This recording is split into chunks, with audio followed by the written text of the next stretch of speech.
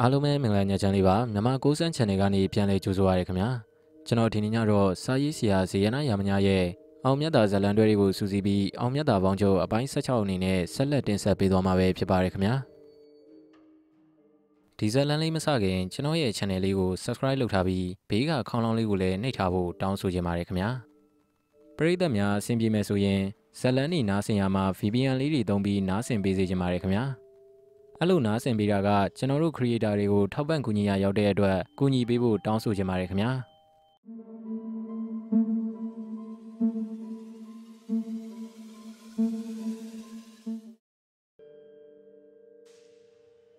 အောင်မြတ်တာတို့လည်းဖိုးရွှေမင်းရဲ့အကူအညီတောင်းခံမှုကြောင့်ရွာကနေထွက်ပြီးပြီးချင်းဖိုးရွှေမင်းရဲ့ညီဖြစ်သူရှိရာရွာစီကိုထွက်လာခဲ့ကြတယ်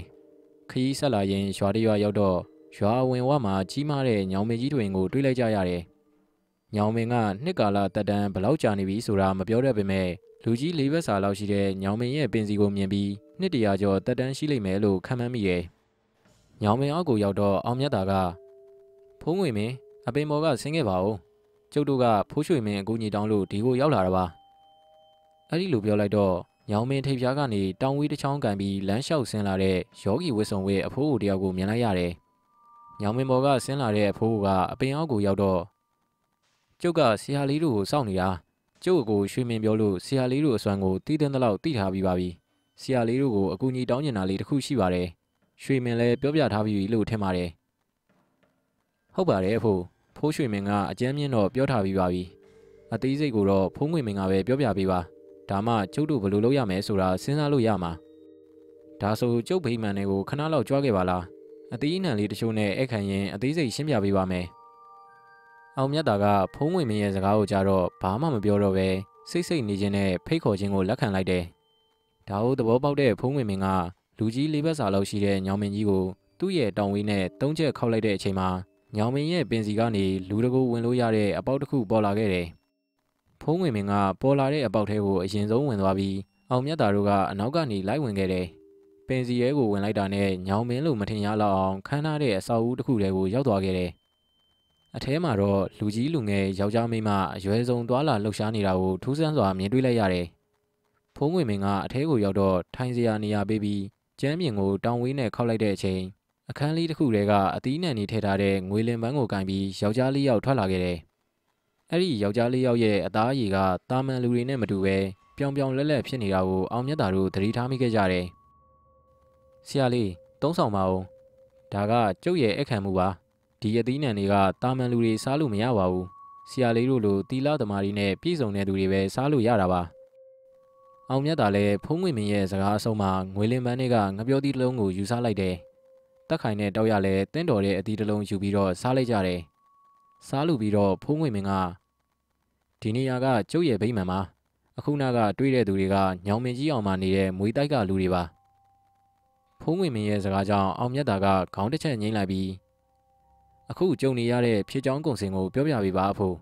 ။လွန်ခဲ့တဲ့နှစ်30ကဒီနယ်တဝိုက်မှာမွေစိုးအလွန်ပေါ်ခဲ့တယ်။ဒီရွာအနီးတဝိုက်မှာနေတဲ့လူတွေကမွေကိုက်ခံရပြီဆိုရင်ရွာတွေကစီးစရာတယောက်စီမှကူးကြရတယ်။မျိုးနယ်လဲဝေတော့တောစီးစရာကိုပဲအားကိုးခဲ့ကြရတယ်။တချို့လဲရှင်ကြသလိုတချို့ကလည်းတီးကြတာပေါ့။ဒီလိုနဲ့တရက်ကြတော့ရွာတွေကိုစီးစရာလိုလိုအထက်လန်းစရာလိုလိုလူတယောက်ရောက်လာတယ်။သူကမွေတွေကိုနိုင်တဲ့လူလို့ပြောပြီး မွေအရန်ပေါ်တဲ့နေရာတွေကိုချီပလာနဲ့တွားပြတယ်။အစိပ်ပြင်းတဲ့မွေတွေကိုတီးကောင်တကောင်လိုစော်ကစားပြတာကိုမြင်တော့ရွာသားတွေကသူ့ကိုပို့ပြီးယုံကြည်လာကြတယ်သူ့ရဲ့ထူးခြားချက်ကရှာမာအနှဲ့ရောင်အဆက်၃ဆက်ဖိုးခနောက်ဆိုင်ထားသလိုရှိနေရပဲသူ့ကြောင့်ရွာသားတွေမွေကြိုက်တဲ့အန္တရာယ်ကနေလွတ်ကင်းခဲ့တယ်ဒါကိုရွာထဲမှာရှိနေတဲ့စီးစရာကမကြည့်နဲ့ဘူးသူ့ကြောင့်စီးမကူရတော့လို့ဝင်ငွေမရဖြစ်လာတဲ့အခါအကောက်ကြံဖို့ကြိုးစားခဲ့တယ်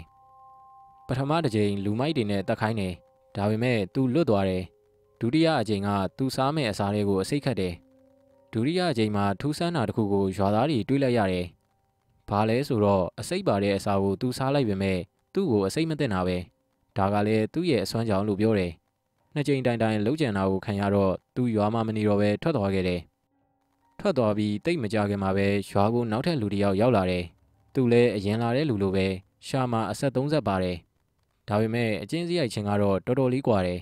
ပထမဆေးဆရာကယူသားသလောက်ဒုတိယရောက်လာတဲ့သူကအကြံများတယ်အဲ့ဒီမှာရွာတွေကဆေးဆရာကအနူနီးနဲ့ဝင်ကပ်ပြီးမိတ်ဆွေဖွဲ့ခဲ့တယ်သူတို့နှစ်ယောက်ပေါင်းပြီးတော့စီးကူးကြတယ်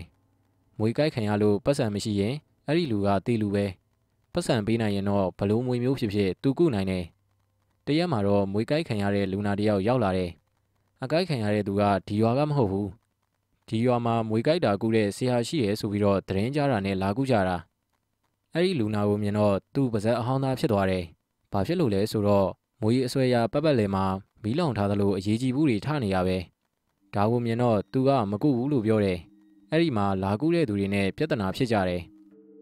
ဖုံးငွေမင်းကစကားပြောနေတာကိုခဏရက်ပြီးရင်နွေးတကြိုက်မော့တောက်တယ်ရင်နွေးတောက်ပြီးတော့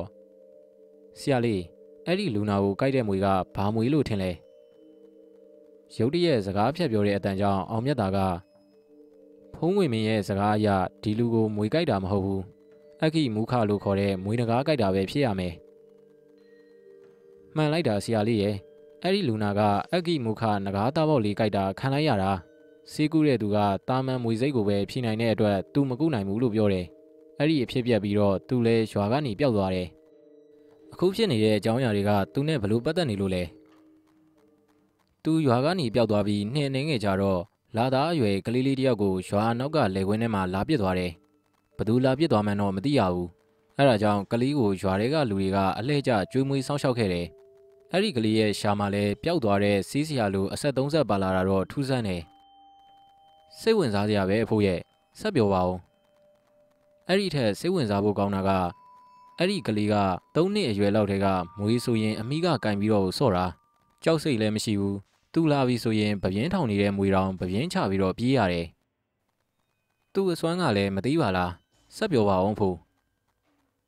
ကန်ကြီးအောင်10နှစ်သားလောက်မှရွာကိုအသက်60အရွယ်လူတစ်ယောက်ရောက်လာခဲ့တယ်။တကောင်းလုံးဖြူဖွေးနေပြီးလွယ်တလုံးကိုလည်းလွယ်ထားတယ်။ရွာသားတွေကဒီလူကြီးကိုမြင်မှုတယ်ဆိုပြီးကြည့်တော့မှလောက်ကြံခံရပြီးရွာကနေပျောက်သွားတဲ့စီးစရာဖြစ်နေတယ်။သူ့ရွာကိုရောက်တော့ကန်ကြီးအောင်ကိုသွားတွေ့တယ်။ အရင်ဆုံးတွေ့တာနဲ့ကန်ကြီးအောင်ရဲ့ပါဇက်ကိုဖျဲပြီးရှားဆက်30ကိုမြင်တော့ဒီကလေးအသက်16နှစ်မပြည့်ခင်တင်ကန်းစီးပြရမယ်လို့မှာခဲ့တယ်။သင်္ကန်းမစည်းပေရင်တတ္တဝါရီရဲ့အသက်ကိုသူတတ်လိမ့်မယ်ဆိုပြီးတော့ပြောခဲ့တယ်။စပင်းဖြူနေတဲ့လူကြီးကဘာကြောင့်ကန်ကြီးအောင်ကိုသိနေခဲ့တာလဲ။ဘာကြောင့်သိလဲဆိုတော့သူတို့နှစ်ယောက်ကဆရာတူတပည့်တွေဖြစ်ခဲ့လို့ပဲ။တယောက်ကကောင်းတဲ့လမ်းစဉ်ကိုလိုက်လို့ဆရာဖြစ်သူကမွေနဂါးရီရဲ့အစိတ်ကိုနိုင်စေမဲ့ပညာရဲ့သင်ပေးခဲ့တယ်လို့ မကောင်းတဲ့လမ်းကိုလိုက်တဲ့သူကတော့အဲ့ဒီပညာတစ်ခုခြံထားခဲ့တယ်။အဲ့ဒါကြောင့်အကိမုခမွေနဂါးကြိုက်တာကိုသူကူးလို့မရတာ။သူရွာကနေပျောက်သွားတာကလည်းမွေးနဂါအစိတ်ကိုကူးနိုင်မဲ့ပညာကိုပြန်သွားတင်တာပဲဆရာဖြစ်သူကိုလိန်လဲလှည့်ပြားပြီးအခါကြီးငွေနဲ့ဈေးကူပါကသွေးပွက်ပွက်အံပြီးတေးရွာစီလို့ကျင်းဆိုပြီးတော့မှပညာကိုပြန်သင်ခဲ့တယ်ဒါပေမဲ့သူ့ကလေးကိုသူမတီးခဲ့ပဲအခါကြီးငွေနဲ့ကုစားလို့သူ့ချိန်စာကသူ့ကိုပြန်ဆူပြီးပထမဆုံးကူးတဲ့နေမှာတည်ခဲ့တယ် သူတည်တော့ဒီရွာကိုဆွဲပြီးရွာနားမှာရှိတဲ့လေတရင်ကားမိသားစုမှာဝင်စားတယ်တရင်ကားမိသားစုကကလေးကိုမကြွေးနိုင်လို့ရွာနောက်လေကွင်းဆက်မှာလာပစ်ခဲ့တာကစတာပဲကန်ကြီးအောင်ကသူ့ကိုတင်ကန်းစီးပေးမယ်လို့ပြောရင်ပြန်မလာပဲပျောက်ပျောက်သွားတတ်တယ်အဲ့ဒါကြောင့်အခုချိန်ထိတင်ကန်းမစီးရသေးဘူးရွာကလူတွေလည်းကိုယ့်အလုံးနဲ့ကိုယ်ဆိုတော့သပင်ဖြူနဲ့လူကြီးပြောတာကိုမင်းမရော်ရော်ဖြစ်နေခဲ့တယ်အခုဆိုရင်မွေးတိုက်ထဲကအဆောင်မွေတွေတောင်အပြစ်မထွက်ရဲတော့ဘူးဒါဆိုညောင်မင်းအောက်ကမွေတိုက်က ဟုတ်တယ်ဆရာလေးဒီမွေတိုက်ကအဂိမုခမွေတိုက်ပဲအတိတ်ဘဝကသူမကုနိုင်ခဲ့တဲ့အဆွဲကြောင့်အခုဘဝမှာမွေတွေကိုရန်ရှာနေတော့တာပဲအခုဒီမွေတိုက်ကနေဘဏ္ဍကောင်အဖမ်းခံရတာလဲဒီမွေတိုက်ကိုညီအမငါးဘော်ကစောင့်ရှောက်တယ်သူတို့တဲကအငယ်ဆုံးညီမကိုကန်ကြီးအောင်ကဖမ်းထားတယ်ဆရာလေးသူကတီးလို့ဖမ်းတာလားဒီအတိုင်းပဲမြင်လို့ဖမ်းတာလားသူ့မှာအတိတ်ဘဝကိုလုံးဝသိစေတဲ့ညံတော့ပါမလာဘူးဆရာလေးဒါပေမဲ့အစွဲကတော့ကြံနေသေးတယ် အငယ်ဆုံးလေးကိုဖမ်းမိတာကအမားတွေကိုမပြောဘဲတယောက်တည်းတိုက်ပြင်ထွက်သွားတဲ့အချိန်ကန်ဆိုးချင်တော့ကန်ကြီးအောင်နဲ့သွားတွေ့တာပဲသူ့ရဲ့ရှာဆက်အားဆက်ကြောင့်ထွက်ပြေးလို့မရခဲ့ဘူးအဖမ်းခံရတဲ့မွေကရောအသက်ရှင်သေးရဲ့လားအသက်ရှင်သေးတယ်ဆရာလေးသူတို့ညီအမတွေရဲ့အကြီးကုန်တွေကရွှေအောင်ဖြစ်နေတော့ကန်ကြီးအောင်ကဖမ်းထားတဲ့မွေမလေးကိုမတက်ဖဲနဲ့လောင်ထားပါတယ်ဒါဆိုကျုပ်ညီအမတွေကိုတွေးကြပါတယ် လူသားအသွင်ဖန်ဆင်းလို့ရရင်လူသားအသွင်နဲ့ပဲလာခဲ့ပါလို့အဖိုးကဆင့်ခေါ်ပေးပါကောင်းပါပြီဆရာလေးသူတို့ကလည်းဆရာလေးကိုတွေးကျင်နေပါတယ်ဆရာလေးအခွင့်မရှိလို့ထွက်မတွေ့တာပါကျုပ်ခေါ်လိုက်ပါမယ်ဖုံးငွေမင်းကအဲ့ဒီလိုပြောပြီးတော့ပါဇက်ကနေလေးချွန်တန်းရှိသုံးချက်ချွန်လိုက်တဲ့အချိန်အပြင်ဘက်ကနေဝင်လာတဲ့မိန်းမလေးယောက်ကိုတွေးလိုက်ရတယ်အဲ့ဒီမိန်းမတွေကိုမြင်တော့အောင်မြတ်တာကတင်တို့နဲ့တွေ့ကျင်တာကတခြားမဟုတ်ဘူးတင်တို့ရဲ့ညီမဖြစ်သူကိုတွေ့တဲ့အခါ တင်တို့လွတ်လိုက်တယ်ဆိုတာသူ့ကိုသိစေချင်တဲ့အတွက်တင်တို့ညီမတွေပဲသိမဲ့စကားရှိပါသလားအောင်မြတ်တာရဲ့အမေကိုကြတော့အရွယ်ကြီးဆုံးမိန်းမကရှိပါတယ်ဆရာလေးသူ့ကိုတွေ့ရင်အနောက်တကားပေါ်မှာရွှေလဲကြီးရှိတယ်တူတူသွားစီရအောင်ဆိုပြီးပြောလိုက်ပါအဲ့ဒီလိုပြောလိုက်ရင်သူသိပါတယ်ကောင်းပါပြီတင်တို့လည်းတိတ်စိတ်မပူကြနဲ့ဝေကျွေးရှိရင်တော့ဘသူမဆိုပေးဆက်ကြရမှာပဲသူငယ်ငယ်ကလူတစ်ယောက်ကိုပောက်တက်ဖူးတယ်မလား အောင်မြတ်တာရဲ့စကားကိုကြတော့မိမလေးယောက်ကအံ့ဩသွားတယ်ဟုတ်ပါတယ်သူငယ်ငယ်ကရွာသားတစ်ယောက်ကိုပောက်ခဲ့ဦးတယ်အဲ့ဒီအချိန်ကတိုက်မပြောင်းရသေးဘူးအေးကံကြမ္မာကတပတ်လဲနေပါရောလားတင်တို့ညီမတွေစိတ်အေးထားပါကျုပ်တို့ရောက်လာပြီမို့လို့တရဝါရီရဲ့အသက်တွေထပ်ပြီးမသေးစေရတော့ပါဘူးညီမလေးယောက်လည်းအောင်မြတ်တာရဲ့စကားကိုကြားတော့မျက်နှာမှာပြုံးရိပ်တန်းလာပြီးလာလန်းအတိုင်းလှည့်ပြန်သွားကြတယ်။ အောင်မြတ်တာတို့လည်းဖုံးငွေမင်းကိုနှုတ်ဆက်ပြီးကန်ကြီးအောင်ကိုဆုံးမဖို့အတွက်ရွာထဲကိုဝင်လာခဲ့ကြတယ်။ရွာထဲရောက်တော့မောင်ကန်ငါအတွက်လဲမွေတကောင်လောက်ရှာပြီးစမ်းပါဟာညကြရင်အရက်နဲ့မိဖို့ဘာမှမရှိဘူး။ဟေးလူကျုပ်အလကားတော့ဖမ်းမပေးနိုင်ဘူးဗျာ။ခမရဘာပြန်လုပ်ပေးမလဲ။မောင်ကန်ရငါမှလည်းပတ်စံတိတ်မရှိဘူးဟာ။အခုလက်ထဲမှာ200တော့ရှိတယ်။အဲ့ဒါလေးပဲယူလိုက်ပါကွာ။ကိုချက်ကြီးခမ ्या ကလေကျုပ်ကနောက်နေတာပါဗျ ဘလောက်အကောင်လိုချင်လဲတာပြောညနေဆောင်ရင်ရစီရမယ်ပြောတာပြောရတာဒီဘက်ဒီမှာအကောင်ရှိတွေတိတ်မရှိတော့ဘူးဒီညနေဟိုဘက်ရွာကဖျားငုတ်တို့ဘက်ကိုသွားမယ်ကျုပ်ကလည်းအကောင်ရှိတွေမြင်ရင်ဖမ်းကျင်နေတာစိတ်ချပြုညနေအိမ်ကိုလာပေးထားမယ်အောင်မြတ်တာတို့လည်းကန်ကြီးအောင်တို့ပြောနေတာကိုအသာနားဆွင့်နေတယ်ကန်ကြီးအောင်ကန်ကြီးအောင်သူတစ်ပါးအသက်တက်ရတာကိုပြောနေရှာတယ်သူ့အစွမ်းကိုအကျိုးရှိတဲ့နေရာမှာအသုံးချလိုက်ရင်ဘလောက်ကောင်းမလဲဆိုပြီး အောင်မြတ်တာရေရွတ်တာကိုတက်ခိုင်တို့ကြားလိုက်ရတယ်။အချိန်ကညနေစောင်းလူစောင်းခင်ဖြစ်လာလေကန်ကြီးအောင်တယောက်စိတ်တူလာလေဖြစ်လာတယ်။ဒီနေ့ကြမှာတကောင်မှမတွေ့ဘူး။ငါလာမယ်ဆိုတာကြိုသိလို့ပုံနေကြတာလား။ထွက်လာကြစမ်း။ကန်ကြီးအောင်ကအဲ့ဒီလိုပြောပြီးတော့အုတ်ကျိုးပြက်တွေကိုတရွင်းတက်လက်နဲ့လိုက်ကော်နေရဲ့။အုတ်ကျိုးအုတ်ပြက်တွေကြားမှာအလုံးရှုံနေတဲ့ကန်ကြီးအောင်တယောက်အနောက်ကနေလျှောက်လာတဲ့ခြေတံကြားလို့လှည့်ကြည့်လိုက်တော့ဖြင်းချမ်းအင်ကြီးနဲ့လွယ်အိကိုစီလွယ်ထားတဲ့လူ၃ယောက်ကိုတွေ့ရတယ်။ ကန်ကြီးအောင်လည်းအဲ့ဒီလူ၃ယောက်ကိုကြည့်ပြီးဟဲ့လူတွေခမရတို့ကဖယ်သွားကြမလို့လဲဒီဘက်မှာလူနေအိမ်မရှိဘူးတော်ပဲရှိတယ်ကန်ကြီးအောင်ရဲ့စိတ်မရှိတဲ့အတန်နဲ့ပြောတာကိုကြတော့အောင်မြတ်တာကခမရကတရွင်းတလက်နဲ့ဘာလုပ်နေတာလဲလို့မေးလိုက်တော့ကန်ကြီးအောင်ကဘူးကြီးကြည့်ပြီးပြန်ဖြေတယ်ငွေလိုက်ဖမ်းနေတာခမရတို့လည်းဝါသနာပါရင်ကူဖမ်းပြီအဲ့ဒီလိုမျိုးခက်ထိထိပြောလိုက်တော့အောင်မြတ်တာကပြုံးလိုက်မိတယ် ဒါဆိုကျုပ်တို့သတင်းတစ်ခုပေးမလို့အခုနကကျုပ်တို့လာတဲ့လမ်းကတောင်ဘိုးတစ်ခုမှာမွေးရီအများကြီးပဲမိတ်လိုက်နေတာမြင်ခဲ့တယ်မွေးရီအများကြီးဆိုတဲ့အတန်ကြတော့ကန်ကြီးအောင်ရဲ့မျက်နှာကလက်ကနေဖြစ်သွားတယ်ဘယ်နာလဲကျုပ်ကိုပြောပြအောင်ကန်ကြီးအောင်ရဲ့စကားကိုကြတော့တောက်ရကပြန်ဖြေတယ်ဒီကနေတဲတဲသွားရင်လှဲလန်းတစ်ခုရှိလိမ့်မယ်လှဲလန်းအတိုင်းဆက်လျှောက်သွားရင်လမ်းစုံတစ်ခုကိုတွေ့လိမ့်မယ်။အဲ့ဒီလမ်းစုံရဲ့ဘေးတော်လမ်းထဲမှာတွေ့ခဲ့တာ။ ဟာအဲ့ဒါကျုပ်ရွာသွားတဲ့လမ်းပဲဗျ။အဲ့ဒီနားမှာတောင်ပိုးရှိတယ်ဆိုတာဟုတ်ပါမလား။ကျုပ်လည်းမမြင်ဘူးပါဘူး။ယောကျုပ်တို့ကိုယ်တိုင်မြင်ခဲ့ရတာခမားကိုလိမ်မမလား။သွားကျင်သွားမသွားကျင်နေခမားသဘောပဲ။အဲ့ဒါဆိုရင်တော့ကျေးဇူးပဲပြုဒီနေ့ညတော့မျိုးမျိုးမြက်မြက်ရတော့မယ်။ကန်ကြီးအောင်ကပျော်ပျော်ဆူဆူနဲ့ထွက်သွားခဲ့တယ်။ကန်ကြီးအောင်လည်းခီးသွားသုံးယောက်ပြောတဲ့လမ်းအတိုင်းရှောက်လာခဲ့တာလှဲလန်းစုံကိုရောက်လာခဲ့တယ်။လမ်းစုံကနေချိုးဝင်လိုက်တဲ့အချိန်မှာတော့ တရွှီရွှီနဲ့မွေးတွန်းတန်းတွေကိုကြားလိုက်ရတဲ့အချိန်ရင်ဘတ်ထဲမှာအပျော်ရီစုတက်လာတယ်။ကန်ကြီးအောင်လည်းအတန်ကြားရကိုအသာလေးကတ်လာပြီးကြည့်လိုက်တော့တောင်ပိုးပေါ်မှာတကောင်နဲ့တကောင်ပူကပ်ပြီးမိတ်လိုက်နေတဲ့လင်းမွေနှကောင်ကိုမြင်လိုက်ရတယ်။ကန်ကြီးအောင်ကမိတ်လိုက်နေတဲ့မွေးနှကောင်ရှိရာစီကိုပြေးဝင်သွားပြီးတော့နှကောင်လုံးကိုအမိကနေကင်ထားလိုက်တယ်။ကန်ကြီးအောင်ရဲ့ရုတ်တရက်ဖမ်းယူတာခံလိုက်ရတဲ့လင်းမွေနှကောင်က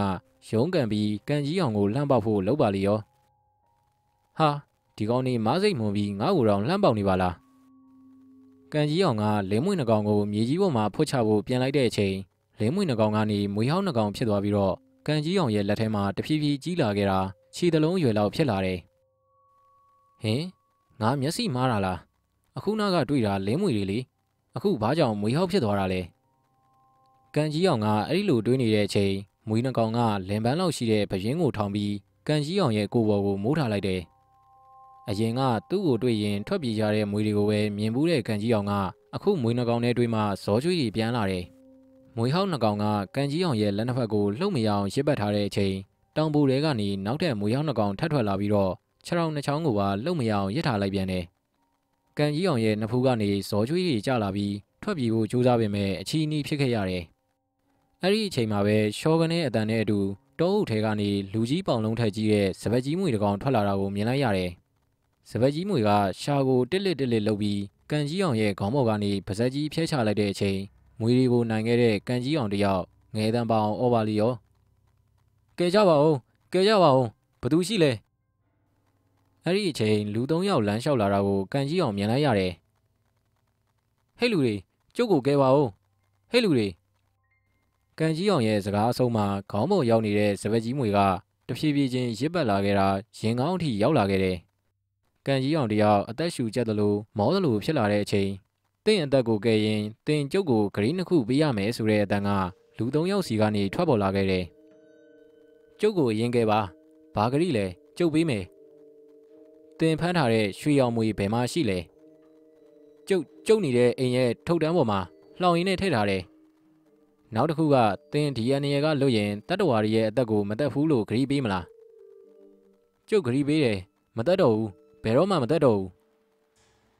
သင်ဂရီးဖောက်ဖြက်ရင်ဒီတဲ့ဆိုးတဲ့အရာတွေနဲ့ကြုံရမယ်ဆိုတာသိထားပါကျုပ်မလိမ္မာဘူးဗျာကျုပ်ဒီအလုပ်ကိုစွန့်လွတ်ပါမယ်ကျုပ်ကိုကယ်ပေးပါမွေမွေကကျုပ်ကိုမျိုးတော့မယ်သင်တေချာကြည့်ပါဦးသင်အပေါ်မှာဘာမွေမှမရှိပါဘူးကန်ကြီးအောင်လည်းအတန်ကြားလို့မျက်လုံးဖွင့်ကြည့်လိုက်တော့အခုနာကမွေတွေမရှိတော့ပဲလက်နဲ့ခြေထောက်မှာရစ်ပတ်နေတဲ့နွယ်ပင်တွေကိုသာမြင်လိုက်ရတယ်။တင်တင်တို့ကဘသူတွေလဲ အခုနာကမွေတွေကရောကန်ကြီးအောင်တင့်ရဲ့မွေရပါအစွမ်းကြောင့်တင်မွေတွေကိုနိုင်တဲ့အတွက်ကျုပ်တို့ကတင့်ကိုမွေအစ်စ်တွေနဲ့ဆုံးမလို့မရဘူး။အဲဒါကြောင့်တင့်အမြင်ကိုလှည့်စားပြီးတော့ဆုံးမတာပါ။တကယ်လို့တင်ပေးတဲ့ဂရီကိုဖျက်မယ်ဆိုရင်ဒီထက်ကြောက်ဖို့ကောင်းတဲ့အရာတွေနဲ့တင့်လိပ်ပြာကိုလွင့်သွားအောင်လုပ်လို့ရတယ်ဆိုတာသိထားပါ။အောင်မြတ်တာရဲ့စကားကိုကြားတော့ကန်ကြီးအောင်ကငြိမ်သက်သွားတယ်။အတန်ကြာတော့မှကန်ကြီးအောင်ကပြန်ပြောတယ်။ ကျုပ်ကလေးအတိုင်းနေပါမယ်။မွေတွေကိုလည်းမဖမ်းတော့ပါဘူး။ကျုပ်ဘဝကိုဒီနေ့ကစပြီးအေးချမ်းစွာဖြတ်သန်းပါတော့မယ်။ကန်ကြီးအောင်ကဂရီပေးပြီးတော့ထွက်သွားခဲ့တယ်။ကန်ကြီးအောင်ခြေလန်းအနှင်းငယ်ရှောက်ပြီးတဲ့အချိန်မှာတော့အနောက်ကနေတင်ဖမ်းထားတဲ့အရာကိုလွတ်ဖို့မမိပါနဲ့ဆိုတဲ့စကားတန်ကထွက်လာခဲ့တယ်။ကန်ကြီးအောင်ထွက်သွားတော့လူငယ်၃ယောက်လည်းရွာအပြင်ကညောင်ပင်ရှိရာဘက်ကိုပြန်ထွက်လာခဲ့တယ်။ညောင်ပင်အောက်ရောက်တော့ဖုံးငွေမင်းကဆင်းလာတယ်။ ဆရာလေးတို့ကျေးဇူးကြောင့်ညီမတွေပြန်ဆောင်သွားပြီ။ကျေးဇူးတင်ပါတယ်ဆရာလေးရဲ့။ဖုံးငွေမင်းလည်းရွာသူရွာသားတွေကိုတတ်နိုင်သလောက်စောင့်ရှောက်ပေးပါ။ကျုပ်တို့လည်းခရီးဆက်ကြရအောင်မယ်။အောင်မြတ်တာတို့လည်းဖုံးငွေမင်းကိုနှုတ်ဆက်ပြီးထွက်လာခဲ့ကြတယ်။ရက်အတန်ကြတော့ရွာထဲကနေတင်ကန်းပရိခရာအစုံလင်နဲ့ဖုန်ကြီးတစ်ပါးဖြင်းချင်းစွာရှောက်လာတာကိုဖုံးငွေမင်းမြင်လိုက်ရတယ်။တိတ်ခါဘိုးအပြည့်နဲ့ရှောက်လာတဲ့ဖုန်ကြီးက ညောင်မင်းအောက်ကိုရောက်တော့ခိတ္တရက်သွားပြီးတပ်ပြီးတက်တာကံမတကားလို့ပြောပြီးတော့ရွာပြင်ဘက်လမ်းမကိုထွက်သွားတယ်။အဲ့ဒီအချိန်ကစပြီးတော့ကန်ကြီးအောင်တစ်ဖြစ်လဲဦးစင်းအိမ်နကကိုတော့ဘယ်သူမှမတွေ့ရတော့ဘူး။အိမ်ကြီးကိုဝယ်လိုက်ပြီတဲ့။ဟုတ်လို့လားကြီးဘသူမှမဝဲပဲပြစ်ထားတာကြားနေပြီကို။အော်ငါကနင့်ကိုလိန်စရာလားမယုံရင်သွားကြည့်ပစ္စည်းတွေတော့နေရာချနေပြီ။ မြင့်ကြီးရဲ့စကားကြောင့်ခင်တို့လည်းလမ်းမဘက်ထွက်ပြီးကြည့်လိုက်တော့ဟဲဟုတ်တယ်တော့တကယ်ကြီးဝယ်လိုက်တာဘာတန်ကြားရမလဲတော့မသိဘူးဟဲ့။ပစ္စည်းတွေချပြီးပြီလား။ပြီးပြီဆရာအားလုံးအဆင်သင့်ပဲတန်ရှင်းရေးလည်းလုပ်ပြီးပြီ။အေးအေးမင်းတို့လည်းပင်ပန်းသွားပြီနားလိုက်ကြအောင်ဆရာဟေးဘာပြောစရာရှိလို့တော့အိမ်ထဲမှာတန်ရှင်းရေးလုပ်တော့စတူကန်တွေကနေ လေးတောင်တစ်တာအရှိနဲ့ထည့်ထားတဲ့ဓာတ်တက်လက်တွေ့ရဆရာဟေးဟုတ်လားငါ့ကိုပြစမ်းရှီဟောင်းပစ္စည်းဆိုရင်ဈေးကောင်းရမှာတထေးဦးကောင်းရဲ့စကားကြောင့်တပည့်ဖြစ်သူလှတင်ကပြေးထွက်သွားပြီးခဏကြာမှတော့ဒီမှာဆရာဒိန်ကတော့ဟောင်းနေပြီသတိထောင်းဆရာတပည့်ဖြစ်သူရဲ့စကားမဆုံးခင်မှာပဲဦးကောင်းတယောက်ဓားကိုအားနဲ့ဆွဲထုတ်လိုက်တယ်။အာဆရာထိသွားပြီလားများလားဆရာ နည်းနည်းလေးပါကွာဘာမှမဖြစ်ဘူးဓားကိုပြန်ထည့်ထားလိုက်တော့နောက်မှကြည့်တော့မယ်တထေးဦးကောင်းကဓားရှလို့သွေးထွက်သွားတဲ့လက်မကိုဖိပြီးအိမ်မော်ကိုတက်ခဲ့တယ်လှတင်လဲစတူကန်လေးကိုပြန်ထည့်ပြီးအိမ်ရှိထွက်လာတဲ့အချိန်ဓားကတဆက်ဆက်ခုံလာတာကိုတော့လှတင်လဲမမြင်လိုက်ရဘူးမြန်မာနိုင်ငံအောက်ပိုင်းကမြို့လေးတစ်မြို့မှာရှေးခေတ်အင်္ဂလိပ်အရာရှိတွေနေထိုင်ခဲ့တဲ့အိမ်ဟောင်းတစ်လုံးရှိခဲ့တယ်။ တမျိုးလုံးမှာရှိတဲ့လူတွေကအဲ့ဒီအိမ်ကြီးကိုစိတ်ချောက်ချားစရာတွေနဲ့ပြည့်နှက်နေတဲ့အိမ်ကြီးလို့သတ်မှတ်ထားကြတယ်။ဘယ်သူမှမဝယ်ပဲပြစ်ထားခဲ့တဲ့အိမ်ကြီးကိုတတိဦးကောင်းကဝယ်လိုက်တယ်ဆိုတဲ့သတင်းကတမျိုးလုံးကိုပြန့်နှံ့သွားခဲ့တယ်။ဦးကောင်းဆိုတာကဒီဇာတိမဟုတ်ဘူး။တနေ့တကြီးကနေအလုံးလာလုပ်ပြီးကြီးွားလာတဲ့သူတယောက်သူ့ရဲ့ဝါသနာကရှေးဟောင်းပစ္စည်းတွေကိုဝယ်တယ်။ကြိုက်စည်းတွေ့ရင်ပြန်ရောင်းတယ်။အခုလဲအိမ်ဟိုကြီးကိုဝယ်လိုက်ပြန်တယ်။ဘသူမှမဝယ်ပဲပြစ်ထားတဲ့အိမ်ကိုဝယ်လိုက်တယ်ဆိုကြတဲ့က ဦးကောင်းမှာအကြံစီတစ်ခုရှိကြလိမ့်မယ်ဆိုပြီးမြို့ကန်တွေကပြောကြတယ်။အိမ်ဟိုကြီးစီကိုစတင်ရွှေ့ပြောင်းပြီးပြင်သစ်နာတွေပြင်လဲတဲ့နာတွေလဲနေတဲ့အချိန်အိမ်အောက်ခြေမှာလှုပ်ဝက်ဆောက်လုပ်ထားတဲ့စတူကန်တစ်ခုကိုဦးကောင်းရဲ့တပည့်တယောက်ကတွေ့သွားရကနေဇလန်းကစတင်ခဲ့တယ်။ဟဲ့ကောင်ငါတို့အိမ်အောက်မှာစတူကန်တစ်ခုရှိနေတယ်။အိမ်ထဲမှာတန်ရှင်းရေးလုပ်ရင်အော်ပြောလိုက်တဲ့လှတင်ရဲ့အတန်ကြောင့်ပင်းကူမြင်နေရှင်းနေတဲ့မောင်တန်းတယောက်လုံးလက်ဆလုတ်တွေကိုချပြီးလှတင်ရှိရာစီကိုဆင်းလာခဲ့တယ်။ စတူကန်ကတောက်ခတ်ထားတယ်ကွ။တခုခုနဲ့ရိုက်ဖွင့်ကြည့်ကွာ။အထဲမှာရွှေရွာတွေရှိရင်ဒိုးတော်ပွားတာပဲ။အဲ့ဒါအသာထားစမ်းမှာအိမ်ရှိကပစ္စည်းတို့ထဲမှာတရွင်းအသီးတစ်ခုရှိတယ်။သွားယူလာခဲ့။လှတင်ရဲ့စကားကြောင့်မောင်တန်းကအိမ်ရှိကိုသွားပြီးတရွင်းကိုယူလာခဲ့တယ်။ယော့ဒီမှာတရွင်းလှတင်လဲမောင်တန်ပေးတဲ့တရွင်းကိုယူပြီးတော့တန်ကြီးတက်နေတဲ့တောကလောက်ကိုရိုက်ချလိုက်တယ်။ သုံးလေးချက်လောက်ရိုက်ပြီးချိန်မှာတော့ချွင်ကနေအတန်နဲ့အတူတောကလောက်ကပွင့်ထွက်သွားတယ်။ဟဲ့ကောင်လှတင်အနမ်းအသက်ကမကောင်းဘူးကွာ။မှောင်လဲမှောင်နေတယ်။ဓမီသွားယူ။လှတင်လဲမောင်တန့်စကားကြောင့်လှေကားပေါ်မှာတင်ထားတဲ့ဓမီကိုယူပြီးစတူကန်ထဲကိုဝင်လာခဲ့လိုက်တယ်။စတူကန်ထဲမှာတော့ဟောင်းနှွမ်းနေတဲ့ဇပွဲနဲ့ကလထိုင်တွေကိုတွေးလိုက်ရပြီးစတူကန်ရဲ့နေရာမှာတော့ဓားနဲ့ခုတ်ထားတဲ့အရာလိုမျိုးတွေကိုမြင်လိုက်ရတယ်။ ပစ္စည်းတွေကတော့ထွေထွေတူတူဘာမှမရှိဘူးကွ။စာရေးစပွဲနဲ့ကလထိုင်တွေပဲရှိတယ်ဆိုတော့ဒီနေရာကရုံကန်လားစာရေးကန်လားတခုခုပဲ။မောင်တန့်ရဲ့စကားကြောင့်လှတင်ကပတ်ဝန်းကျင်ကိုဓမီနဲ့လိုက်ထိုးကြည့်နေတဲ့အချိန်အနောက်ကနေလူတစ်ယောက်လမ်းလျှောက်သွားတဲ့အတန်ကြောင့်လှတင်နဲ့မောင်တန့်လှည့်ကြည့်လိုက်မိတယ်။မောင်တန့်မင်းကြားလိုက်လား။အေးကွငါကြားတယ်လူတစ်ယောက်ဖျက်လျှောက်သွားတဲ့အတန်ပဲ။မဟုတ်မှလွယ်ရောတရေချောက်တာလား ဟာမဖြစ်နိုင်ပါဘူးကွာငါတို့ကိုထင်မှားတာဖြစ်မှာပါကြွက်တွေဘာတွေပြေးတာလဲဖြစ်ချင်ဖြစ်မှာပေါ့လှတင်ကမောင်တန့်ကိုပြောပြီးအခန်းထဲကိုလိုက်ကြည့်နေတဲ့အချိန်ဒုံကနေအတန်နဲ့အတူလှတင်ရဲ့နာကျင်စွာအော်တဲ့အတန်ကထွက်ပေါ်လာတယ်ဟာဟဲ့ကောင်လှတင်ဘာဖြစ်တာလဲဘာမှမဖြစ်ဘူးကွာခလုတ်တိုက်မိတာခလုတ်တိုက်တဲ့အရာကိုဓမီနဲ့ထိုးကြည့်တော့အလျားက၄ဘီလောက်ရှိပြီးအနံတထွားလောက်ရှိတဲ့တစ်တာတစ်လုံးကိုမြင်လိုက်ရတယ် ဟဲ့ကောင်ဒီမှာတစ်တာတလုံးကွာအခုနာကကြည့်တော့မမြင်ပါဘူးအခုမှဒီနေရာဘလို့ရောက်လာလဲမသိဘူးလှတင်ကပြောရင်းဆိုရင်းနဲ့တစ်တာကိုယူပြီးကြည့်လိုက်တယ်မောင်တန်တစ်တာကတော့ခတ်မထားဘူးကွာအထဲမှာဘာပါလဲဖွင့်ကြည့်အောင်တစ်တာကိုတရွင်းနဲ့ကလန်းလိုက်တော့အထဲကနေလေးပေလောက်ရှိတဲ့ဓာတ်တက်လက်ထွက်လာခဲ့တယ်ဓာတ်ကနှစ်ဘလောက်ကြာနေပြီလဲမသိပေမဲ့ဒိန်ကနေရုတ်တရက်ဆွဲထုတ်လို့မရအောင်ကြက်နေခဲ့တယ်မရလဲဆွဲထုတ်မနေနဲ့ကွာ အထဲမှာတန်ကြီးကြီးလိုက်နေပြီထင်တယ်ဆရာကိုသွားပြရအောင်ဒါကရှေးဟောင်းပစ္စည်းဖြစ်နိုင်တယ်လှတင်လှတင်တန်ရှင်းရေးလောက်တာမပြီးသေးဘူးလားအော်ပြောလိုက်တဲ့ဦးကောင်းရဲ့အတန်ကြောင့်လှတင်ကကမန်းကရန်ပြေးထွက်လာတယ်မင်းတို့တန်ရှင်းရေးလုပ်ပြီးပြီလားပြီးပြီဆရာကျွန်တော်တို့တန်ရှင်းရေးလုပ်ရင်ဒါတက်လက်တွေ့လို့ဟေးဟုတ်လားဘယ်ကနေတွေ့တာလဲ အိမ်အောင်မှာစတူကန်လိုလိုအခန်းတစ်ခန်းရှိနေတယ်အဲ့ဒီတဲကတွေ့ရဆရာ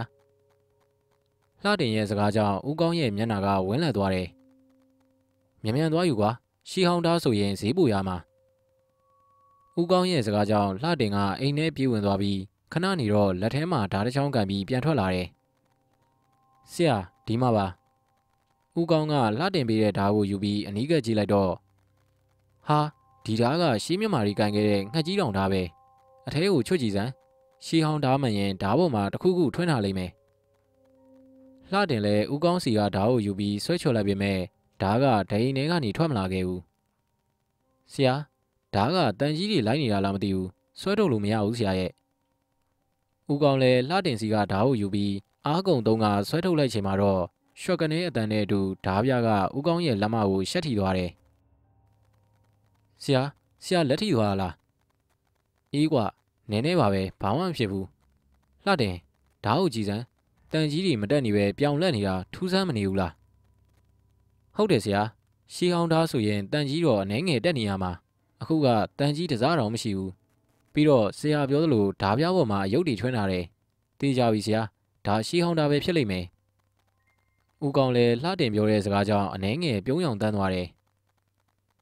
ဒီဓာတ်ကိုဆေးကြောပြီးတော့ငါအခန်းထဲကိုထည့်ထားလိုက် မနှက်ဖြန်ကြရင်မင်းတို့ကိုမုံဖို့ပေးမယ်လှတင်လည်းဦးကောင်ပြောတဲ့စကားကြောင့်ဝမ်းသာသွားပြီးဓာတ်ကိုသေချာဆေးကြောပြီးတော့ဦးကောင်ရဲ့အိတ်ခန်းထဲမှာထောင်ထားခဲ့လိုက်တယ်ညဘက်ရောက်တော့ဦးကောင်းတယောက်အိပ်ပျော်နေရကနေတရှက်ရှက်နဲ့လူတယောက်လမ်းလျှောက်နေတဲ့အတန်ကြားလို့လန်နိုးလာခဲ့တယ်။လှတယ်မောင်တန့်မင်းတို့မအိပ်သေးဘူးလား။အော်ပြောလိုက်တဲ့ဦးကောင်းရဲ့အတန်ကြောင့်လှတယ်နဲ့မောင်တန့်တို့ကအိမ်ရောက်ကနေပြေးတက်လာခဲ့တယ်။ဆရာဘာဖြစ်လို့လဲ။ မင်းတို့ငါအခန်းရှိလမ်းလျှောက်နေကြတာလား။အခုနောက်ကခြေတံနေကြနေရလို့မဟုတ်ဘူးလေဆရာကျွန်တော်နဲ့မောင်တန်းကအိမ်အောင်မှာပဲနေနေတာ။အပေါ်ဟိုတော့မတက်ဘူးဆရာရဲ့အေးအေးတရီယူရီယာနဲ့နေအောင်အရေးအကြောင်းဆိုငါလှမ်းခေါ်လိုက်မယ်လှတင်တဲ့မောင်တန်လည်းဦးကောင်းအခန်းထဲကနေပြန်ဆင်းလာပြီးအိမ်ရောက်မှပြန်ထိုင်နေလိုက်တယ်ဦးကောင်းလည်းဂရင်မော်ပြန်တက်ပြီးစောင်းငိုချုံအိတ်လိုက်တယ်အိပ်ပျော်ကန်ဒီဖြစ်နေတဲ့အချိန် ကျွေကနေအတန်နဲ့အတူအိတ်ခမ်းတကားကတဖြည်းဖြည်းပွင့်လာတာကိုဦးကောင်းကသတိထားမိလိုက်တယ်တကားပွင့်လာတော့အခန်းထဲကိုဝင်လာတဲ့ခြေတံတွေကြောင့်အိပ်ရာဘေးမှာအစင်သစ်ဆောင်ထားတဲ့ဓမြောင်ကိုကင်ပြီးအိတ်ချင်အောင်ဆောင်းနေလိုက်တယ်ဟဲ့ကောင်ထဆန်းဟဲ့ကောင်သူ့ကိုခေါ်နိုးတဲ့အတန်ကြောင့်ဦးကောင်းကလှည့်ကြည့်တော့လုံကြီးကိုကရောင်းကြိုက်ထားပြီးအရက်ခုနှစ်ပေလောက်ရှိတဲ့လူတော်ကြီးတစ်ယောက်ကိုတွေ့လိုက်ရတယ်ဟင်ခမရဘာတူလဲ ကျုပ်ခန်းထဲဘာလို့ဝင်လာတာလဲတဲရာရာဆဆငါပစ္စည်းကိုယူပြီးငါ့ကိုပိုင်စိုးပိုင်နဲ့အမိန်တန်နဲ့လာပြောနေပါလားငါဓာတ်ကိုထုတ်ပြီးသွေးဝအောင်ပေးမတော့လို့တတိလာပေးတာငါဒါကသွေးစာနေတာနှစ်ပေါင်းများစွာကြာနေပြီမနှက်ဖြန်လူသွေးနဲ့ဓာသွားပေါ်ကိုလောင်းချပေးရမယ်မဟုတ်ရင်တော့တက်မှုဗလာမင်းထင်အကြောင်းသိစေရမယ်ဟဲ့အဲ့ဒီလိုပြောပြီးတော့လက်ခမောင်းခတ်လိုက်တဲ့အချိန်အိယာဘေးမှာထောင်ထားတဲ့ငှက်ကြီးတောင်ဓာကအသက်ဝင်လာသလိုထခုံပါလီရော ငှက်ကြီးတောင်ဓာတစက်စက်ခုံနေတာကိုကြည့်ပြီးကရောင်းကြိုက်ထားတဲ့လူကြီးရဲ့မျက်နှာကခက်ထန်လာတယ်ငါဒါသွေးစာနေပြီသူသွေးမတော့ရရင်တော့မင်းတို့အကုန်ဒုက္ခရောက်ပြီသားမှတ်ဟိ့အဲ့ဒီလိုပြောပြီးအိတ်ခမ်းထဲကနေထွက်သွားတဲ့အချိန်မှာတော့ဦးကောင်းတယောက်လန့်နိုးလာတယ်ဖះဖះငါအိမ်မက်မက်နေတာပါလားနေ့လေကတွေးရတာကိုစိတ်ဆွဲနေလို့ဖြစ်မှာပါဦးကောင်းလည်းအဲ့ဒီလိုတွေးပြီးတော့ပြန်အိတ်လိုက်တယ်မနေ့ရောက်တော့ဆရာ ညားကအိပ်ပျော်ရဲ့လားတပည့်ဖြစ်သူလှတင်ရဲ့ထူးထူးဆန်းဆန်းစကားကြောင့်ဦးကောင်းကအံ့ဩသွားတယ်ဘာဖြစ်လို့လဲကွာအိပ်ပျော်တာကိုအထူးဆန်းလုပ်ပြီးမေးနေတယ်မဟုတ်ဘူးဆရာညကလူတယောက်ခြံထဲမှာလမ်းလျှောက်နေတာကျွန်တော်ရောမောင်တန်ရောတွေ့တယ်ဆရာဟေးတခိုးတဝက်ဒီများလားမဟုတ်ဘူးဆရာရဲ့သူ့ကိုဖြက်ကနေဖြက်ကနေပဲတွေ့ရတာလူကောင်ကထွားထွားကြီးဒီအိမ်နဲ့ခြံကလည်းနမဲရှိတော့တရေချောက်တာများလားမသိဘူး တပည့်ဖြစ်သူရဲ့စကားကြောင့်ဦးကောင်ကဟဲ့ဟဲ့ပပရီလိုက်မိတယ်မင်းတို့ကတရေကြောက်လို့လားတရေတစီဆိုတာလူကိုကြောက်တယ်ကွာမင်းတို့ကြောက်မှန်းသိရင်ထက်ချောင်နေမှာဘာမှမကြောက်နဲ့အဲ့ဓာတွေကတကယ်မရှိပါဘူးကွာဟုတ်ဟုတ်ကဲ့ဆရာညဘက်ထူးခြားမှုရှိရင်ဆရာကိုလာပြောပါမယ်လှတင်တဲ့မောင်တန်လည်းဆရာဖြစ်သူကိုအခြေအတင်မပြောတော့ဘဲနဲ့မျက်စာပြစ်ပြီးစကားဖြတ်လိုက်ကြတော့တယ်မောင်တန်ခြုံနေတဲ့ရမ်းမွင်နေကွာ မွေလေးပါရီရှိချင်ရှိမှာအေးပါဆရာကဒီညနေအိမ်နောက်ကခြုံကိုအပီးရှင်းဆိုတော့ငါလည်းစိတ်လုံးနေလို့ပါလှတင်တဲ့မောင်တန်းစကားတပြောပြောနဲ့အိမ်အနောက်ဘက်မှာရှိတဲ့ခြုံတွေတွေကိုရှင်းနေတော့ဟာလှတင်လှတင်ဒီမှာလာကြည့်အောင်ကွအလန်တကြားអော်လိုက်တဲ့မောင်တန်းရဲ့အတန်ကြောင့်လှတင်ရောက်လာခဲ့တယ်ဟဲ့ကောင်မောင်တန်းဘာဖြစ်လို့တော့ဒီမှာကြည်စမ်းမအောင်ကွလူအယိုးတွေအေးကွာ နဲတဲ့အယိုးစုမှမဟုတ်တာဆရာကမပြောနဲ့အောင်အချီနီမပြတ်ပြန်ဖုံးထားလိုက်လှတင်တဲ့မောင်တန်လည်းအယိုးစုတွေကိုနေရာတကျပြန်ထားပြီးတော့အိမ်မော်ကိုပြန်တက်လာခဲ့တယ်။ဆရာဆရာအိပ်ပျော်နေတာလား။မောင်တန်ဆရာအိပ်နေတာထင်တယ်ကွာမနှိုးနဲ့တော့သူနိုးလာမှဆင်းလာလိမ့်မယ်။လှတင်တဲ့မောင်တန်တို့လည်းအဲ့ဒီလိုပြောပြီးတော့အိမ်ရောက်ကိုဆင်းဖို့အလုပ်ငါကိုရောရဲ့စကားကိုအလေးမထားတဲ့ငမိုက်သားအအခုလိုအပြစ်ပေးတာကိုနဲလာပြီ အတန်နှစ်ကြီးကိုကြတော့လှတင်တဲ့မောင်တန်းကအခန်းတကားကိုအတင်းတွန်းဖွင့်ပြီးအထဲကိုဝင်လာတော့လက်ထဲမှာငှက်ကြီးတောင်ဓာတ်ကန်ပြီးကိုယ့်လက်ကိုဓာတ်နဲ့ပြန်လှိနေတဲ့ဆရာဖြစ်သူကိုတွေ့လိုက်ရတယ်ဆရာဆရာသတိထားပါဦးလှတင်ရဲ့အလံတကြားအော်တန်ကိုကြတော့ဦးကောင်းကမျက်စောင်းထိုးပြီးငါကိုတော့အပြစ်ပေးနေတာကိုဝင်ရောက်ဟန်တားသူအကုန်သေးစေရမယ်ငါနာမည်တက်မှုဗလားမင်းထင်ကွာလက်ထဲမှာငှက်ကြီးတောင်ဓာတ်ကိုဝင်ပြီးကျိန်းမောင်းနေတဲ့ဆရာဖြစ်သူကိုမြင်တော့ လှတင်တဲ့မောင်တန်းကဘာလို့ရမှန်းမသိဖြစ်နေတဲ့အချိန်ဦးကောင်းရဲ့ဓာတ်ဦးကသူ့ရဲ့လက်မျိုးကိုထိုးချလိုက်တယ်ဟာဆရာဆရာလှတင်ရေးပြေးဟာဆရာကလည်းမကောင်းဆိုးဝါဝင်ပူးနေပြီမောင်တန်းနဲ့လှတင်လည်းမတိုင်မင်ထားပဲနဲ့အိမ်ပေါ်တက်ကနေတချိုးတဲ့ဆင်းပြေပါလေရောအိမ်အောက်လေကအဆင်းလေရောက်ရောဖြောင်းကနေအတန်နဲ့အတူလှတင်ရောမောင်တန်းမှာဒလိန်ကောက်ကိုကျသွားတယ်မောင်တန်းငါထားမရတော့ဘူးကွ ငါလည်းခြေထောက်လုံးမရတော့ဘူးအဲ့ဒီအချိန်မှာပဲအိမ်ပေါ်တက်ကနေလဲမျိုးမှဓာတ်ဆိုင်ပြီးတော့သွေးတစ်စက်စက်ကျနေတဲ့ဆရာဖြစ်သူကအိမ်ရောက်ထက်ကိုဆင်းလာတာတွေ့လိုက်ရတယ်မကောင်းဆိုးဝါးဝင်ပူးနေတဲ့ဦးကောင်ကလှတင်တဲ့မောင်တန်းရဲ့အရှိမခါထောက်ရက်ပြီးလေဘင်းကဓာတ်ကိုဆွဲနှုတ်ပြီးတော့ခုတ်ချပစ်လိုက်တယ်အားကနေអော်လိုက်တဲ့အတန်နှစ်ကြီးနဲ့အတူအိမ်ကြီးစီကနေဟဟပပရီမောတန်တွေထွက်လာခဲ့တယ်အဲ့ဒီအဖြစ်ပြက်တွေပြီးလို့9နှစ်ခန့်အကြာမှာတော့ အိမ်ဦးကြီးရှိတဲ့အရက်စီကိုလူ၃ယောက်ရောက်လာခဲ့တယ်။ယောဂီဝစ်စုံဝစ်ထားတဲ့လူငယ်၃ယောက်ကိုမြင်တော့တချို့လူတွေကထူးဆန်းတဲ့အကြည့်တွေနဲ့ဝိုင်းကြည့်ကြသလိုတချို့တွေကလည်းလူလိန်နေများလားဆိုတဲ့အကြည့်နဲ့လှမ်းကြည့်ကြတယ်။လူငယ်၃ယောက်လည်းလက်ဖေးဆိုင်တစ်ခုမှဝင်ထိုင်ပြီးလက်ဖေးရည်မှာတောက်နေတဲ့အချိန်ဒီကမိတ်ဆွေတွေကဧည့်သည်တွေလားအတန်ကြာလို့ကြည့်လိုက်တော့ဖြင်ချမ်းအင်းကြီးဝတ်ထားပြီးစေးအုပ်ထုပ်အဟောင်းကိုစောင်းထားတဲ့အသက်50အရွယ်လူကြီးတစ်ယောက်ကိုတွေ့လိုက်ရတယ်။ဟုတ်ပါတယ် ကျုပ်တို့ကခီးသွားတွေပါ။အော်ဒါကြောင့်အရင်ကမမြင်ဘူးတာကိုကျုပ်နာမည်ကဖိုးလူမြင်လဲသမားဖိုးလူဆိုရင်မသိတဲ့လူမရှိဘူး။ရုတ်တရက်လာရောနေတဲ့လူကြီးကိုကြည့်ပြီးဘေးနားဝိုင်းကလူတွေကဖိုးလူတို့ကတော့လက်ဖေးရည်လကားတောက်ရအောင်ဝင်ရောနေပြီဟိတ်။လူငယ်၃ယောက်ကြောင့်တမင်ကိုអော်ပြောတယ်။လူငယ်၃ယောက်ကတော့မကြားချင်းအောင်ဆောင်ပြီးကိုဖိုးလူဘက်ကိုလှည့်ပြီးတော့ပြန်ပြောတယ်။ ဒီမျိုးကိုစရောက်ကလေးကထူးဆန်းတဲ့ခံစားမှုတစ်ခုခံစားနေရတယ်။စိတ်ထဲမှာမတူးမတန်ရင်လွယ်ဤကိုဗေဒဆောင်လွယ်ထားတဲ့လူငယ်တစ်ဖြစ်လဲတက်ခိုင်ရဲ့စကားကိုကြားတော့ကိုဖိုးလူကဒီကခီးသွားတွေကယောဂီဝတ်စုံနေနေဆိုတော့အထက်လန်းဆရာတွေလားဒါမှမဟုတ်အဋိဌံဝင်ထားကြတာလားအထက်လန်းဆရာဆိုတာတဲ့ခုနှစ်ရက်သားသမီးတွေရဲ့ဒုက္ခကိုကူညီပေးနေကြတဲ့သူတွေလို့ပြောရင်ပုံမှန်လိမ့်မယ်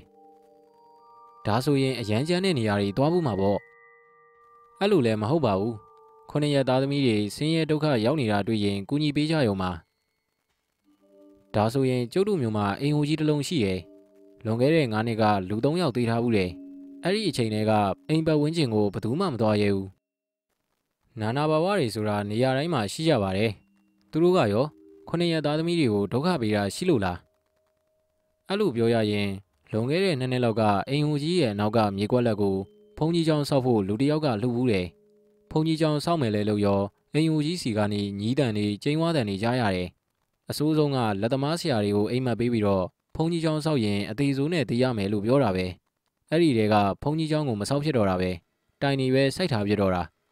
။ဒါတွေကိုခမားကဘလို့သိနေတာတော့ဘလို့သိလဲဆိုတော့အဲ့ဒီလက်သမားတွေထဲမှာကျုပ်ပါတာဟုတ်ဗျ။ဒါကြောင့်သိတာ။ တကယ်လို့အဲ့ဒီအနောက်ရှက်ကိုဖယ်လိုက်ရင်ဘုန်းကြီးเจ้าကပြန်ဆောက်ဖြစ်မှာလားဆောက်ဖြစ်မှာအသေးကြပဲအလူရှင်ကအသိရှိတယ်ကျောင်းထိုင်မဲ့ဆရာတော်လည်းရှိတယ်ကျောင်းမဆောက်ဖြစ်လို့သာငြိမ်နေရတာတက်ခိုင်နဲ့ကိုဖိုးလူတို့ပြောနေတာကိုဘာတခုံးမှဝင်မပြောဘဲနားထောင်နေတဲ့အောင်မြတ်တာကအဲ့ဒီအချိန်ကြမှာဒါဆိုရင်ကျုပ်တို့ကိုခွင့်ပြုပါဦးလက်ဖေးရည်ဘိုးလည်းရှင်းထားခဲ့ပြီးပြီဆိုပြီးနှုတ်ဆက်ရင်းနဲ့လက်ဖေးရည်ဆိုင်တွေကနေထွက်လာခဲ့တယ် အောင်မြတ်သာတို့၃ယောက်လည်းကိုဖိုးလူပြောတဲ့အိမ်ရှိရာဘက်ကိုရှောက်သွားခဲ့တာညနေမောင်ကြီးပြိုးစားမှာတော့အိမ်ဦးကြီးရှိတဲ့ဘက်ကိုရောက်ခဲ့တယ်။အောင်မြတ်သာကအိမ်ဦးကြီးတဲ့ကိုဝင်မလို့ခြေလန်းရွယ်ပြီးတော့မှရုတ်တရက်ရက်လိုက်ပြီးတွေးညီနှန်းနေအရန်ပြင်းနေပါလား။အိမ်တစ်ခုလုံးလဲမှောင်မိုက်နေတာကိုတွေ့ရတယ်။ငါမပြောဘဲဘာမှမလုပ်မိစေနဲ့လို့မှာရင်အိမ်ကြီးရဲ့ကို၃ယောက်သာဝင်လာခဲ့တယ်။အိမ်အောက်ကစင်ဝင်အဝကိုရောက်တော့အိမ်ပေါ်မှာတယောက်ယောက်လမ်းလျှောက်နေတယ် အိမ်ထဲကိုမဝင်နဲ့ဦးအိမ်ရောက်မှလည်းခြေတံနေကြရတယ်ဆရာလူနှစ်ယောက်သုံးယောက်ရုံရင်ဆန်ခတ်ဖြစ်နေတဲ့အတန်လိုပဲအောင်မြတ်သာလည်းတက်ခိုင်ရဲ့စကားအဆုံးမှာမျက်လုံးကိုစုံမိတ်ပြီးအာယုံခံလိုက်တယ်ဆိုတာနဲ့အရင်ကဖြစ်ပျက်ခဲ့တာတွေကအာယုံထဲမှာရုပ်ရှင်ပြသလိုပေါ်လာခဲ့တယ်။အတန်ကြာတော့အောင်မြတ်သာရဲ့မျက်လုံးအစုံကဖြည်းဖြည်းချင်းပွင့်လာခဲ့ပြီးပြဿနာရင်းကန်ကကျင်းစာတိုက်ထားတဲ့ဓာတ်လက်ကနေစတာပဲ။အဲ့ဒီဓာတ်ကိုစိတ်ဆွဲပြီးနှစ်ပေါင်းများစွာမကျွတ်မလွတ်ဖြစ်နေတဲ့သူရဲ့ အဲ့ဒီဓာတ်ရဲ့ပယောဂကြောင့်မကျွတ်မလွတ်ဖြစ်နေတဲ့သူတွေရှိသေးတယ်။သူတို့ကိုခြေချွတ်နိုင်မှအခုကြုံနေရတဲ့အခက်အခဲတွေကိုကျော်လွှားနိုင်မှာဖြစ်တယ်။တောက်ရမင်းကဒီရင်ရဲ့အောက်ခြေအခန်းထဲမှာရှိနေတဲ့ဓာတ်ကိုယူလာခဲ့အဲ့ဒီဓာတ်ကိုရတာနဲ့ပြဿနာကိုဖြေရှင်းနိုင်မယ်တောက်ရလဲအောင်မြတ်တာရဲ့စကားကိုကြတော့လွယ်အိတ်ကိုခတ်တင်းတင်းလွယ်ပြီးအိမ်ထဲကိုဝင်သွားခဲ့တယ်တောက်ရဝင်သွားပြီးတိတ်မကြခင်မှာပဲအိမ်ထဲကနေပြေးလွှားနေတဲ့ခြေတံတွေတောက်ခေါက်တဲ့အတန်တွေ အတန်နဲ့ကြီးနဲ့အော်ဟစ်တန်တွေကိုအောင်မြတ်တာတို့အတိုင်းသားကြားလိုက်ရတယ်အချိန်နှဲငယ်ကြတော့အိမ်ထဲကနေတောက်ရပြန်ထွက်လာပြီးလက်ထဲမှာလည်းဖုံဝင်လိမ့်လိမ့်ကပ်နေတဲ့တရှိတလက်ပါလာတယ်တောက်ရကအောင်မြတ်တာရှိရောက်တော့ဒီကောင်းนี้မလွယ်ဘူးဆရာတာမန်လူဆိုရင်အသက်တည်တဲ့အထိအန္တရာယ်ပေးကြမှာကျွန်တော်ကတော့ရုပ်ပြက်ဆင်းပြက်ဖြစ်နေတဲ့သုံးကောင်က6လန့်သေးတာအနာကပ်လို့မရတော့မှခလန်လန်းကနေမကြည်နဲ့တဲ့အကြည့်တွေနဲ့စိုက်ကြည့်နေကြတာတောက်ရစကားကိုကြတော့အောင်မြတ်တာက ဘာပဲဖြစ်ဖြစ်ဓာတ်ကိုရှာတွေးခဲ့တာကိုပဲတာဝန်ကျနေပါပြီ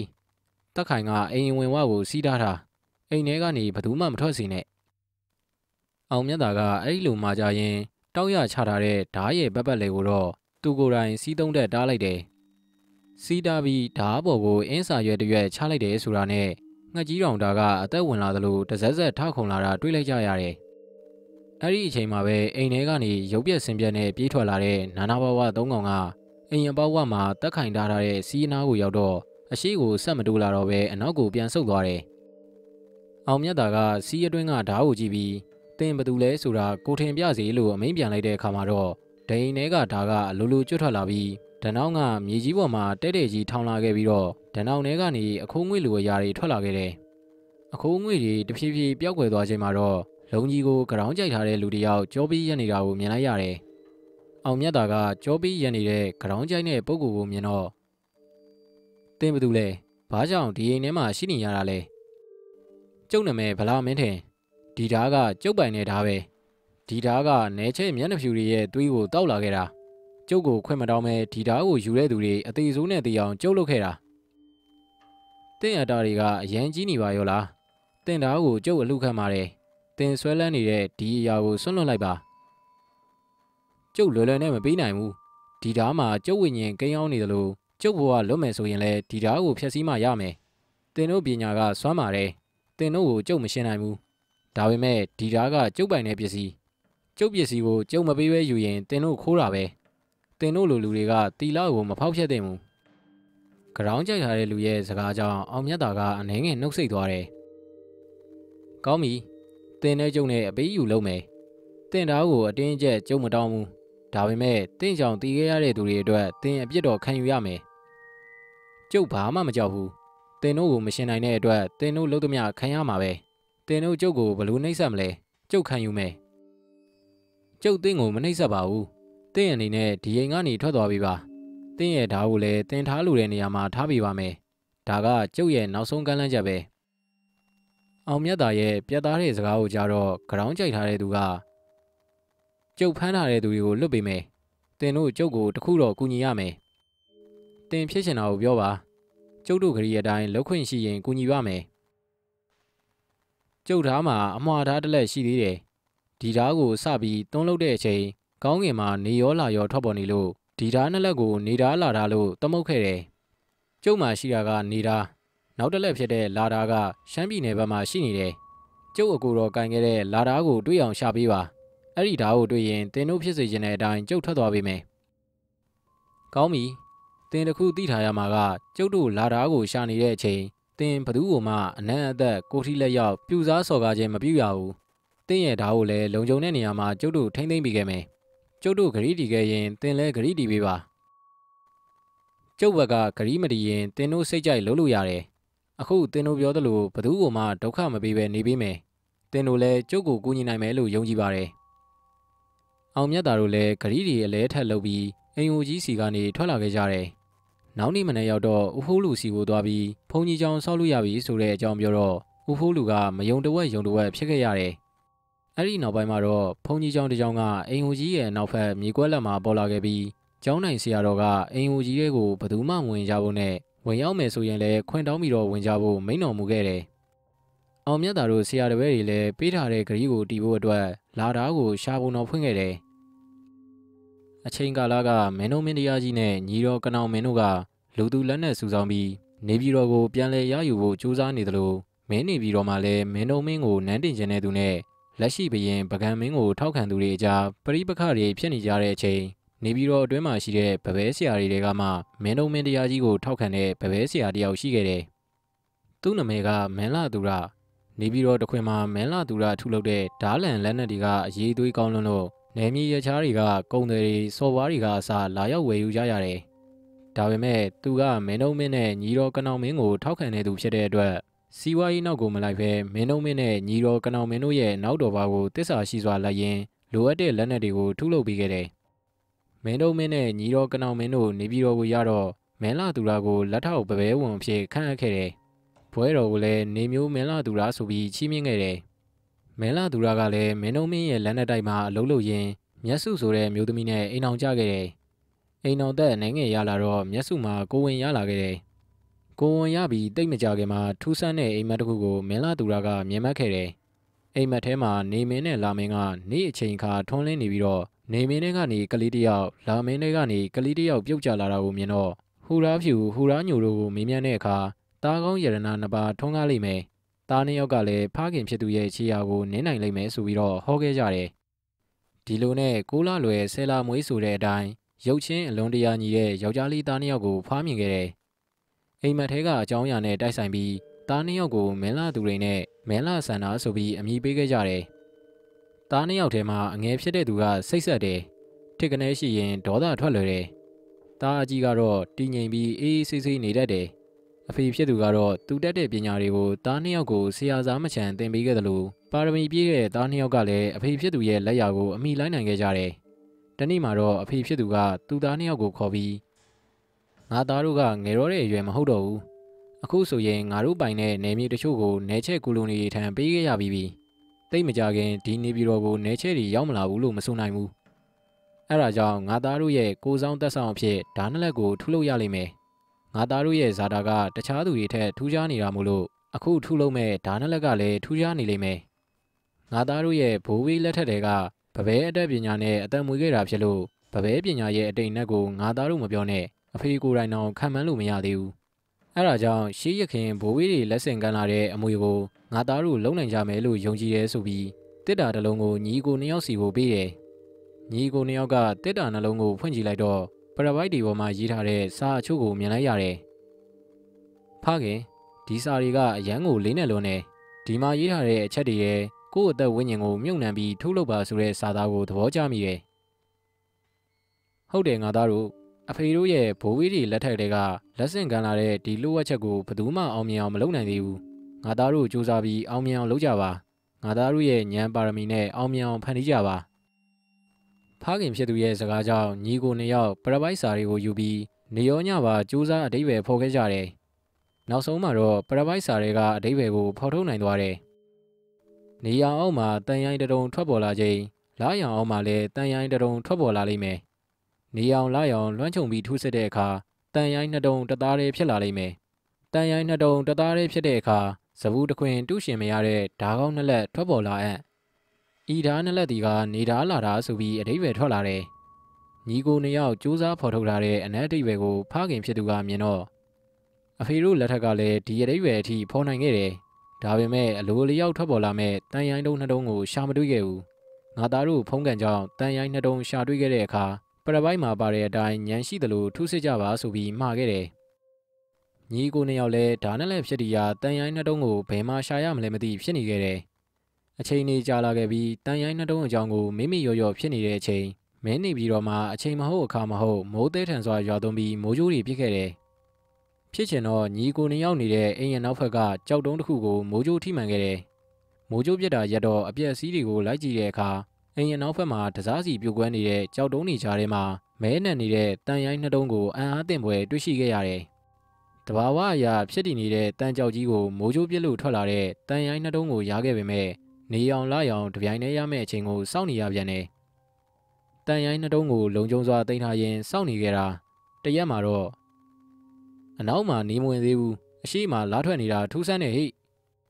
ကလေးရဲ့အော်တန်ကြောင့်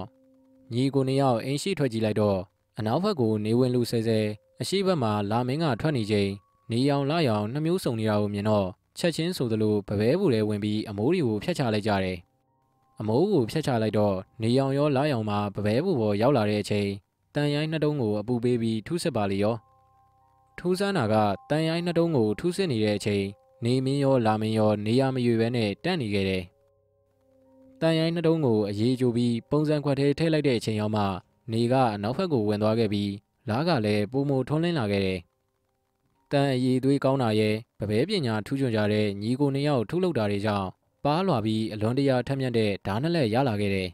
။ဓာတ်နဲ့လက်ရဲ့အနောက်မှာတော့နီးပုံစံလပုံစံထွန်းလုပ်ခဲ့တယ်။ဒိန်ကိုတော့တင်မင်းကိုအမွှေးနှစ်သားရည်နဲ့ခုနှစ်ရက်စိန်ပြီးပြုတ်လုပ်ခဲ့ကြတယ်။ဓာတ်ကိုရွေးချယ်တဲ့အခါအကိုဖြစ်သူကလာဓာတ်ကိုရွေးချယ်ခဲ့ပြီးညီဖြစ်သူကနေဓာတ်ကိုရွေးချယ်ခဲ့တယ်။နေဓာတ်ရဲ့အစွမ်းကဘလောက်ပဲဒူးတယ်ကြီးမားတဲ့အရာဖြစ်ပါစေအားကုန်မတုံရပဲပြက်အောင်ဖြတ်နိုင်စွမ်းရှိသလို လာဓာရဲ့အစွမ်းကတော့ခဲနေတဲ့ရေခဲတုံးကိုဓာရမပေါ်ပဲပြက်အောင်ခုန်နိုင်တဲ့အစွမ်းရှိတယ်။တိတ်မကြခင်မှာပဲအင်္ဂလိပ်မြန်မာဒုတိယစစ်ပွဲဖြစ်ပွားတဲ့အတွက်ညီဖြစ်သူကနေဓာကိုယူပြီးမင်းတို့မင်းတရားကြီးရဲ့စစ်တပ်ထဲဝင်ပြီးတော့အမှုတော်ထမ်းခဲ့တယ်။ပင်ကိုအရေးသွေးထက်မြက်တဲ့အပြင်ထူးခြားတဲ့ဓာကိုပိုင်ဆိုင်ထားတဲ့မင်းလာသူတွေကိုမင်းတို့မင်းတရားကြီးကဗလာမင်းထင်ဆိုတဲ့ဘွဲကိုပေးရခဲ့တယ်။မင်းလာသူတွေတစ်ဖြစ်လဲဗလာမင်းထင်ကနေဓာကိုကင်ဆွဲပြီးအမှုတော်ထမ်းခဲ့ပေမဲ့ အကိုဖြစ်သူကတော့ပရပိုက်ထဲမှာပါတဲ့အတိုင်းဓာကိုမထုတ်ဘဲငြိမ်းချမ်းစွာနေခဲ့တယ်။ညီဖြစ်သူကမင်းုံမင်းလက်ထက်နဲ့တီဘောမင်းလက်ထက်တော်မှာအမှုတော်ထမ်းခဲ့ပြီးတတိယကျူးကျော်စစ်ပွဲရွှေဒဂုံတိုက်ပွဲမှာတော့ရွရွချွန်ချွန်တိုက်ခတ်ရင်ကြာဆုံးခဲ့တယ်။သူသေးတော့နေဓာကိုအင်္ဂလိပ်စစ်ဗိုလ်တယောက်ရသွားခဲ့တယ်။နေဓာကိုဆွဲပြီးတည်သွားတဲ့ဗလာမင်းထင်ကတော့သူ့ရဲ့ဓာကိုဆွဲကပ်ပြီးသူ့အခွင့်မရှိဘဲကန်ဆောင်တဲ့သူတွေကိုမကြွမလွတ်တဲ့ဘဝနဲ့လိုက်လံချောက်လန့်ပြီးတတ်ခဲ့တယ်။ နောက်ဆုံးအောင်မြတ်တာနဲ့တွေ့ကမှမရှင်းနိုင်တော့ပဲသူ့ရဲ့နောက်ဆုံးဆန္ဒဖြစ်တဲ့အကူဖြစ်သူကင်ဆောင်တဲ့လာတာကိုရှာပေးဖို့မြတ်တာရက်ခံခဲ့တယ်။ညီဖြစ်သူဗလာမင်းထင်တိုက်ပွဲကြပြီဆိုတဲ့သတင်းကြောင့်အကူဖြစ်သူကလည်းလာတာကိုယူပြီးရှမ်းပြည်ဘက်ကိုတိမ်းရှောင်ခဲ့တယ်။အကူဖြစ်သူမဲလာသူတွေလည်းရှမ်းပြည်နယ်ဘက်မှာကုံရောင်းကုံဝယ်လုပ်ရင်းနဲ့နောက်ဆုံးအချိန်ထိဘဝကိုဇက်မြုပ်နေခဲ့တယ်။ကြီးစီထူးတဲ့အတန်ကိုကြားလိုက်ရတာကြောင့် အောင်မြတ်တာရဲ့မျက်လုံးထဲမှာမြင်နေရတဲ့အတွေးပုံရိပ်တွေရုတ်တရက်လွင့်ပြောက်ကုန်တယ်